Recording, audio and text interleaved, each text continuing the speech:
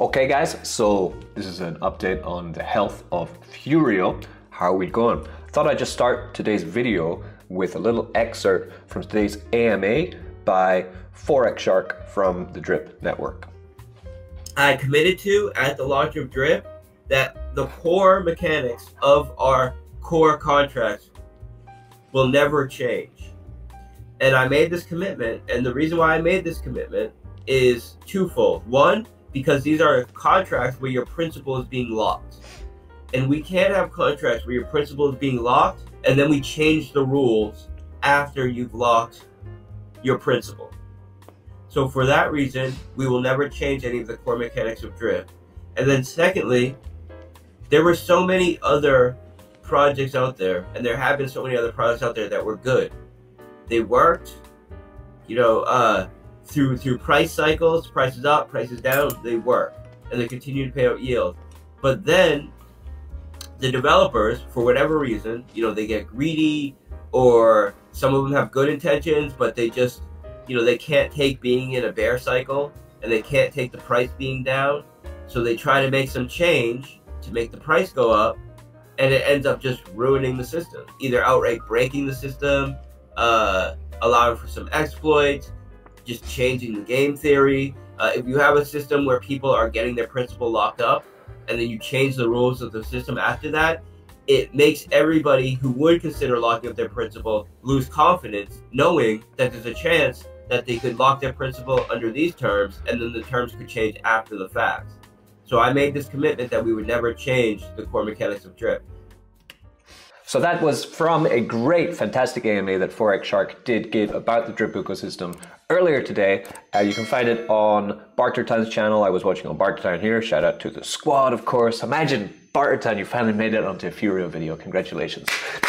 uh, also, we do have Driptopian here as well, that handsome lad just down there. So that's cool. Um, check that out if you do want. You know where to find Bartertown. He's, you know, go in the drip chat, you find him, right? Today, a Medium post was put out by Furio where they have changed the core mechanics of the contract once again. That's right. We have had the LMS put in to fix the price, which was then not working, so it fell down to the lower level and started draining the LMS. We've had the Fur bot, which took over $2 million from the LMS and has so far been doing pretty badly and losing money from the LMS as opposed to gaining it.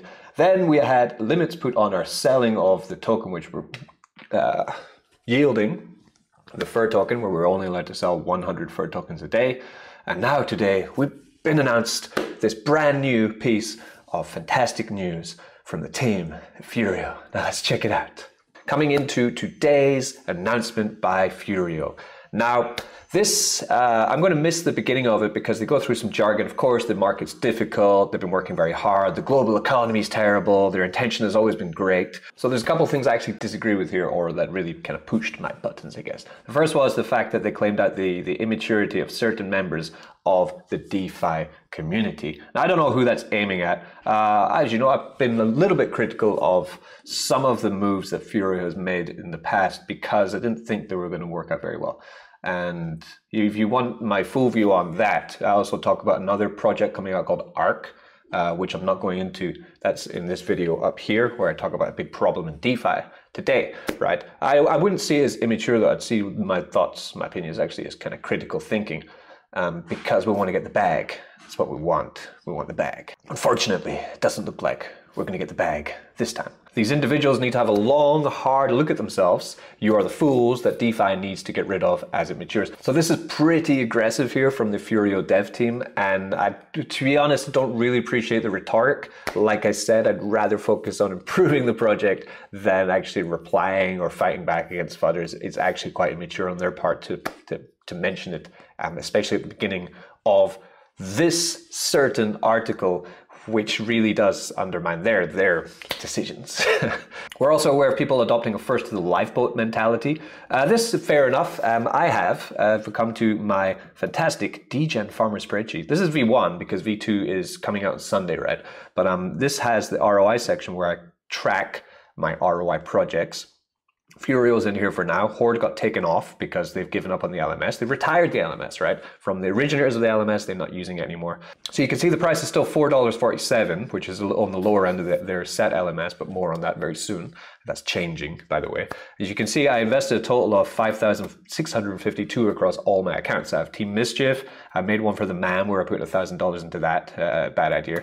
I made one the second team. I bought some NFTs and also I've had $1,000 in the fur pool. And I did start selling. I've taken so far 4,316 from my total investment in fur. I'm still down, but if I did get out of the fur pool, then I'd be just down a couple of hundred bucks. So $5,000 compounded up to about 19,000 Furio tokens, but I didn't start claiming until about two weeks ago.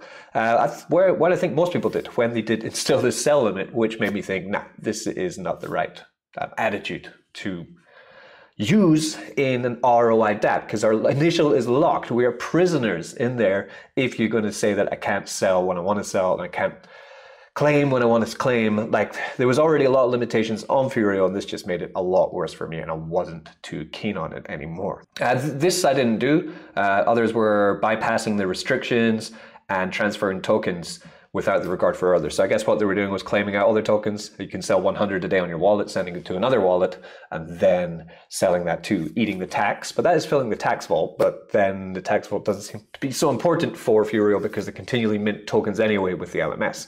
It's this first to lifeboat approach that drives projects to the ground. The funds in the LMS are a result of the diligent trading by the team and they will be used to generate returns. Um, no.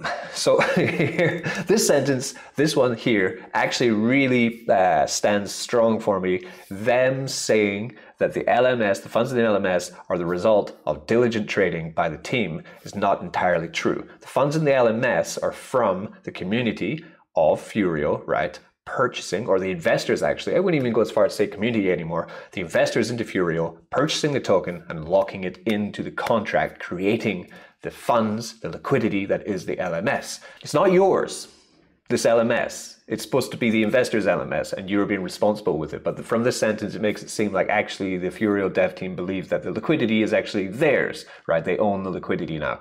And we are just sacrificial lambs that if we we just have to stand by while, while they can change the price, set down the LMS to a lower price, uh, take their rewards, of course, from doing this, and then have a great day. Because of course, the Furio token does have certain tokenomics that when it is bought or sold, there are taxes. Some of the taxes go to the development team. So when the LMS is put up or down, there will be a certain amount of funds going to the Furio dev team. And when they set it down further, what we're going to talk about very soon, there will be quite a nice reward going to the developers. because of their diligent trading, of course. Very diligent. With the markets as they are, with no indication of an upturn for the foreseeable future, we will be introducing changes to ensure the longevity of Furio and protect the community. Thanks, guys. So there's three options, of course, freeze the contracts. Why would you even mention that? That means that they can do that. Remember, they can do it. They could freeze the contracts. Actually, they have right now. Uh, you can't actually claim your Furio, I don't think. You can only compound it, I think. We're going to look at that. Uh, carry on as is and watch the LMS go get abused to zero. You could just turn it off, you know. It doesn't work. It sucks. A horde of thrown it in the bin uh, any other projects I have in I went to nothing. Liquidity Capital went to nothing with the LMS. Furio is going to go to nothing with the LMS. Trust me on this. We are going to zero. Uh, implement very low no sell limit. So of course that's the one they're going to do because they can continue to milk this and get their development fees. We've obviously chosen op- option three. We don't believe in freezing contracts unless there's an absolute state of emergency and it goes against the objective of our end goal, immutability. Hmm. Uh, it's not immutable because you can change the core values of contract. so we're going to adopt option three while they implement these changes, right? But the sell facility is paused for a limited time. So they have indeed frozen the contracts while they implement very low sell limit. So they've done one and two, essentially. We don't know when it will be on pause or unfrozen. Nothing else is impacted though, nothing. You just, just you can't sell your tokens. Yeah, Nothing, everything is fine. Also, oh, sorry, one other thing. Your fur pool withdrawals are paused too because they're going to be changing that. Anyone who sells and is in a negative position compound rate of 0.5%. 50% of your sell will be staked in Fur Pool for you at a 30 day rate.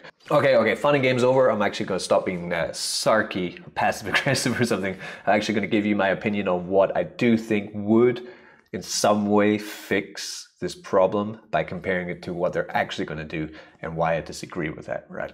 Anyone who sells in a and is in a negative position, 0.5 compound rate, 50% of your sell will be staked in the fur pool for you at 30 day rate. So it means your, your half your sell will be stuck in fur pool for 30 days, adding to liquidity and backing up the token value. If you're existing higher rate staker, it will be at a higher rate. You will be able to claim your fur pool USDC rewards on a daily basis or compound them. So essentially they're moving your rewards from being able to claim here and sell in the vault, going into the fur pool, where then you can take out your available USDC every day which is fair enough. I actually think that is a great idea. Let's read on. Anyone who sells and is in a positive rate position, 1% or above, that's me. I stuck about 1%. I think I'm exactly at 1% now, actually.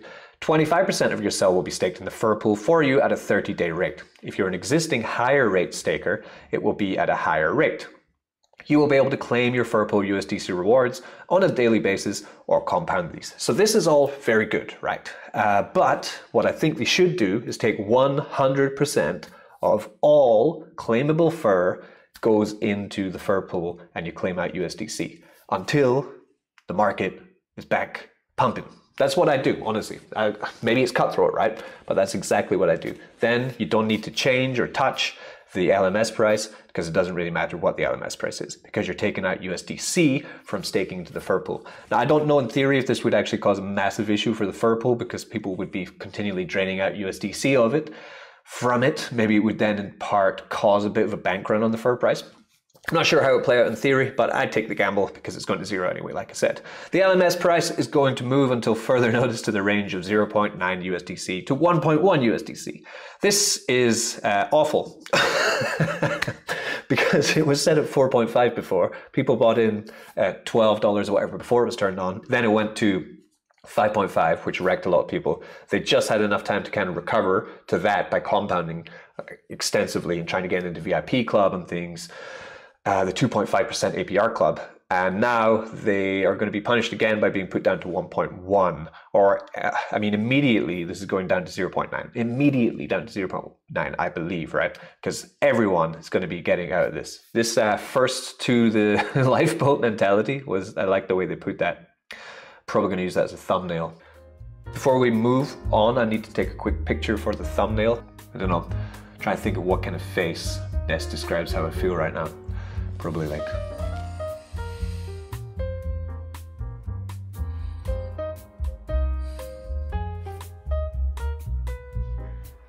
I think that one pretty much sums it up.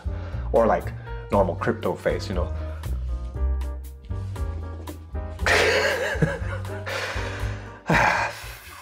This reflects the current position of the market, by the way. That's why it's going down to $1. Uh, it gives everyone the opportunity to compound for future and more positive market conditions. So your days of claiming out profit are over for everyone in Furio now. You're not going to be able to do it. Or I guess you could take the risk and buy back in at $1 and hope that they don't reduce it again. Um, but the past precedent now that's been set of them fiddling with the recipe is already in, right? So I'd be very, very wary about doing that. Furpool, okay. Furpool, I've already been wrecked twice on this, so let's do it again. Furpool has been running for over three months now, and we're committed to ensuring it maintains its fantastic role in the ecosystem. Great job, guys.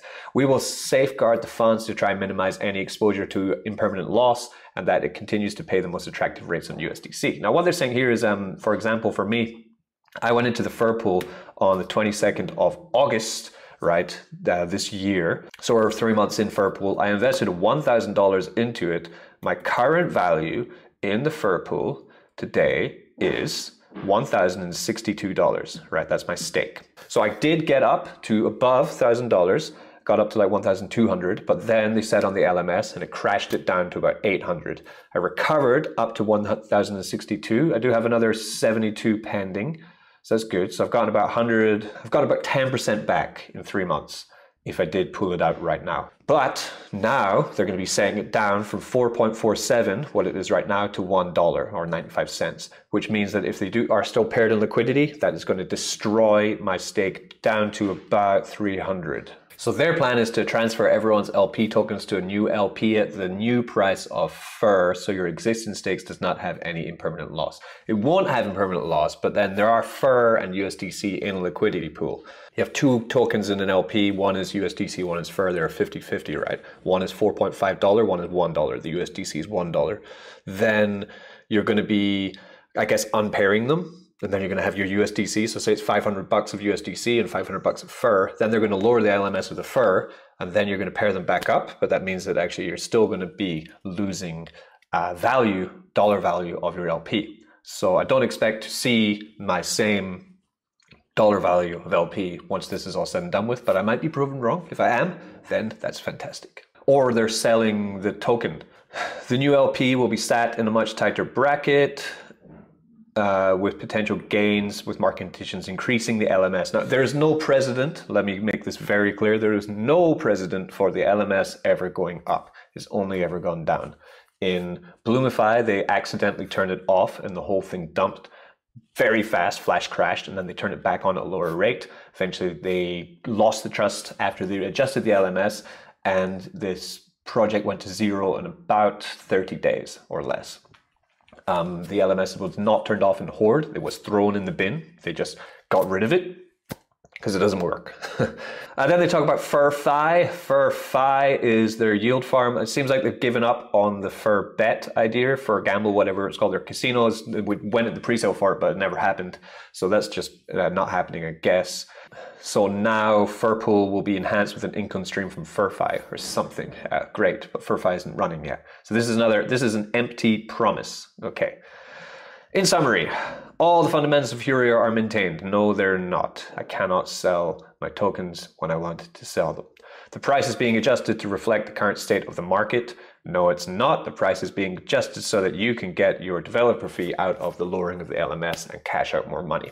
A proportion of sales are going to be used to support Furpool. This gives the user an enhanced income stream by daily USDC. Um, no, this will actually give you less potential earning, but it is a better way for the ecosystem, the bear market. So less gains, more security is what's happening here. It ensures an ongoing involvement and commitment to the ecosystem with Furpool. They're really banging on about the Furpool. Uh, for me, it's been less than amazing. It's my experience of using it. Furpool is being enhanced with income streams from FurFi, which does not yet exist. They do have a pre-sale coming up for FurFi. If you'd be interested in getting into the Furio FurFi, Who the fuck is going to buy this shit, man? The LP token realignment makes Furpool even stronger and even less prone to impermanent loss. Well, that's nice. Why didn't you do it in the beginning? Yeah. Think about these things and do them in the beginning. Make something great, launch it, make it immutable, right? And then we could buy the token. The token will go down in price if too many people sell it. Eventually, people will stop selling the token because it's too low in price. Then people will be able to enter at lower price, buy it, price will go up. Yeah, markets. There is Furio Finance, only going up. It's going up, never going down. Yeah. the next step is the evolution of Furio Finance, which strengthens our resolve still further. We're not prepared to let Furio be erased to the bottom of the LMS funds or fall away into oblivion as some projects are doing. Uh, I really hope I'm not proven right here, but I think this is exactly what's going to happen to Furio before the end of 2022. Furio will continue onwards with integrity and dignity. Uh, this uh, also, I'm not going to speak about the character. The problem here is not your in the integrity or dignity of the development team is the fact that they continue to change the rules and our capital is locked. We can't do anything. All we can do is try and claim out now and escape. Yeah, jump into that lifeboat. You're right. Why the hell would anyone not want to jump in a lifeboat after you continually change the goalposts? That's the problem here. On a personal level, this really sucks for me. I have the largest team in Furio and I have continued to airdrop as we've agreed, I sent 3,000 first so far in airdrops. Uh, I've only claimed 3,600. Uh, that's why actually I actually haven't ROI'd yet. Silly me, I'm much like many other people in this system. I'm just sick and tired of it, and I need to make an announcement about this. This is not the kind of DeFi project I want to support anymore. I believe that we're all being taken for fools, and I want to make a stand and say that I'm done with this. This is quite hard for me because I did lead a lot of people into this project too, but we do make our own decisions when we join these projects and make sure that I say that in every single video. But I do understand that there is some part of responsibility on myself for people joining this project. Uh, for that, you know, I, I, I wouldn't say I have, have to apologize for it, but I am aware of it, right? Um, you know, people say crypto's is a solo sport and, you know, get wrecked or win or whatever, but it is uh, terrible when people lose in this game. We need to get better. I'm going to get better. But I don't have a crystal ball. And I didn't know that this team were going to make so many changes so often. And basically, they destroyed their own project, essentially. That's what I believe happened. Okay, so I have been Crypto Mischief. Uh, if you are feeling down, please try to be as positive as possible. We never know, this could pull through, but I'm not very hopeful. And as always, I'll be on the lookout for any bangers of projects that I believe will work in the future. But I'm going to be a lot more wary when any team has the ability to do what this team has done with my bag. So it is with a heavy heart, and I do not take this decision lightly, but I will be ending my journey with Furio. I will be deleting my spe- specific chat that I created for the team. I will be removing myself from the Fast Team chat, and I will not ever be making a video about this project ever again. That's it. Peace. Be good to each other. Don't get wrecked.